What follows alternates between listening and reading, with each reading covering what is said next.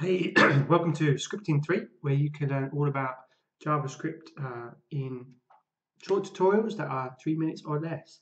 Today we're talking specifically about uh, an array method called filter. And uh, let's take a look and dive in. So here we have an array, um, and we're going to console.log this array, but we're going to apply the filter method to it.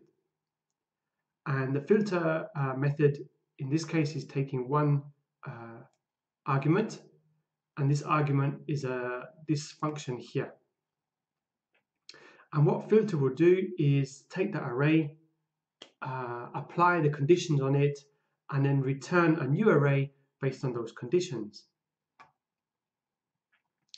So in this case here, um, the first argument here is uh, an item, which is one of these items in the array.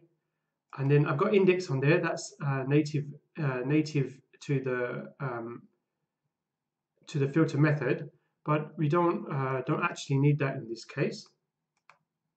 And then I've got modulo 2 on here. So we're checking, um, in this case here, we're checking to see if the item is uh, an odd number essentially.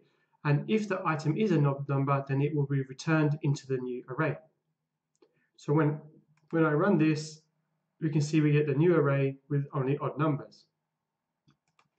If I change this to uh, modulo, uh, the item modulo 2 equals to 0, then we will get only even numbers,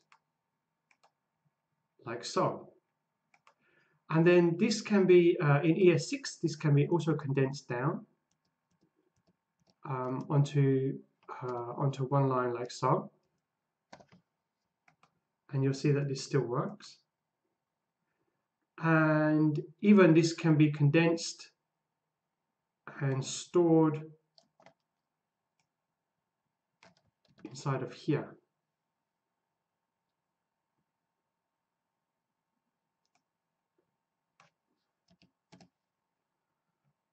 Like so.